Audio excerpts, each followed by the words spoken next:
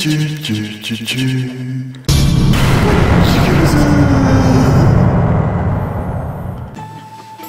はい、ねあのー筋肉マン考察改め田中の減らず口第190回です。ね、例によって前回の動画にお寄せいただいた、えーコメントの紹介させていただきます。えっと、まず最初は過去のゾムさんです。いつもありがとうございます。えっ、と、これからの筋肉マンに新キャラもどんどん出てほしいですね。ね。あのね、あの、そうですよね。あのーまあ、先週ですね、ケビン・マスクが登場するんじゃないのかとね、話をしてましたけどね、あのーまあ、筋肉マン2世からの参戦も、あのーしてほしいですし、ここに来て、ね、正義超人側というか、筋肉マン側にも、全く新規のキャラクターを出すというのは難しいでしょうか。ね、あの、ここはですね、やっぱりですね、ちょっと、まあ、あの先週あたりから筋肉マンね、こう、面白くなってきたんですけど、ね、ここにまたね、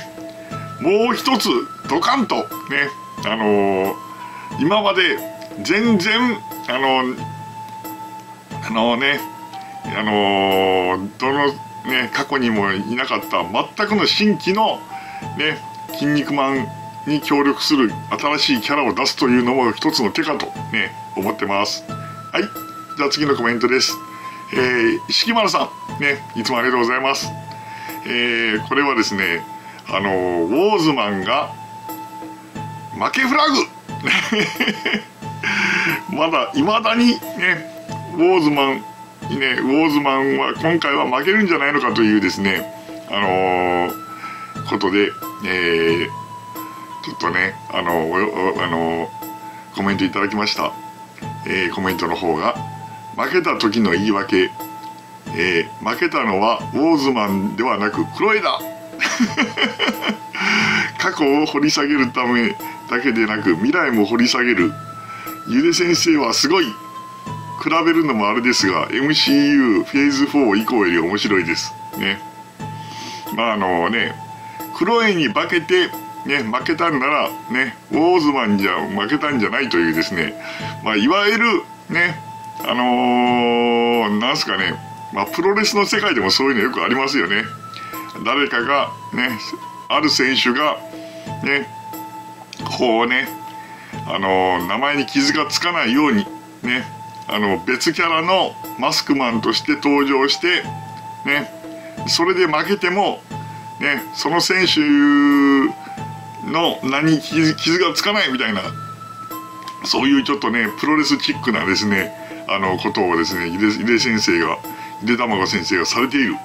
ね。過去を掘り下げるだけでなく未来も掘り下げる。もう名言ですねこれ。ででねあとね MCU のフェーズ4よりね以降よりね今の「筋肉マン」は面白いとありますけどね、まあ、確かに言えますよね。あのー MCU のフェーズ4以降ってなんかですねあのー今一つこうこうフルスイングできていないというかですねなんかですね守りに入ってしま入ってしまってですねなんか今一つねこう面白くないというかこのくらいのものを作っておけばあのーお客さんも満足するだろうというですねなんかこうそういうなんかマーベルマーベルスタジオというかディズニー側のですねなんかねこう安易な考えがあるんじゃないのかと。ね。もっと初期の MCU のようにフルスイングをねしてほしいです、まあ、そういった意味では「筋肉マンね」あのー最近の展開を見ているとねあのこのくらいでいいかという要素がうんこのくらいでいいかという感じでちょっとしばらく続いていたけどそれじゃダメだとねいうあの感じでつあの最近ねウォーズマンが黒絵になりそこから「筋肉マン2世」のキャラクターが出てくればねケビン・マスクが出てきてくれればねちょっとはねこうねいいんじゃないでしょうか。というわけです。はい。じゃあ次のコメントです。次のコメントはカッパのカータンさんです。ね。いつもありがとうございます。えー、悪い予感のコーナー。ウォーズマンとクロエの関係を考察考察する意見が多いですね。でもこれ井出先生にとって単なる中年へのサービスカットかと。ねえ。まあ、あの先週も申し上げましたけどクロエが出てくるのってもうめっちゃ久しぶりすぎてですねあの新規のファンにとってはですね誰だこれ状態なんですよ。ね、であの昔からの「筋肉マン」ファンにとっては「おおクロエだ!」って言ってますけどまあねまあ今昔からの「筋肉マン」ファンってもうねおっさんですからね完全にねコメントの続きですせいぜい未来世界の超人が飛来する代わりにエネルギー、えー、保存の掟により黒いの確保をしたウォーズマンが未来に飛ばされてそのまま先生に立つとかね。これねあのー、そうですねエネルギー保存の掟が発動すればねクロエが未来に飛ばされる代わりにケビン・マスクがこっちにやってくるということがですねあのー、考えられます。ね。あのケビン・マスクねもうどうしてもケビン・マスクが出てほしいのかみたいな感じなんですけどねこう入れ替わりでねあのー、こうなるというのもですねまたねこれはちょっとありえるかなと思いました。ね。まああのその辺はですね井出先生のですね井出卵先生のですねこうとんでも理論を発動させてですねあの筋肉マンですね盛り上げていってほしいと思います。はいじゃあコメントの方は以上です。それでは番組の後半は「えー、筋肉マン」の最新回についてね感想考察、えー、予想等、えー、ねもう述べていきたいと思います。はいねあの月の20日ね時間は19時43分です。ね。えーね、えー、今日も、えー、残業してきました。ね18時半まで。というわけで読みましたよ「筋肉マン」の最新話。第452話「五大国の暗躍の巻」ね。あのー、ね。あのー、先週ねもうね大いに盛り上がりましたよね。ウォーズマンがウォーズマンがね。まああのね1回長身に勝ってるから2回目の戦いはもう負けるだろうとね。という大方の予想を裏切ってね。裏切ってというかですね大方の予想予想を立てられてる中ね。前評判がある中えー、ね。えー、その辺はねあのー、ゆで卵先生も読者にその辺は見透かされてるだろうとね。そういう予想を立てられてしまうだろうということでね。こうなったらということで「えー、筋肉マン2世」のネタをですねぶち込んできてね、えー、ウォーズマンを黒絵にしてこうね黒絵なら勝てるかもしれない。負けるかもしれない。というねいろんなねこういう予想ができてね盛り上がったんですけど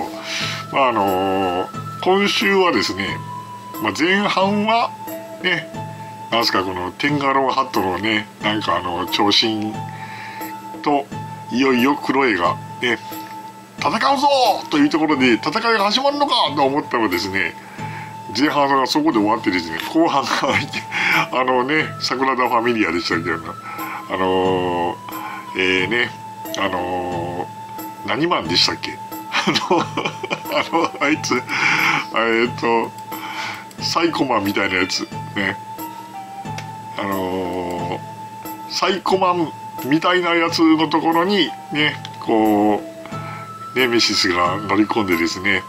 で何をするのかと思ったらねこれ戦いが始まるのかなと思ったらこうねいきなりジャスティスマンのホルマリン漬けでね今週終わってしまいましたけどね。でねあのー、なんすかね。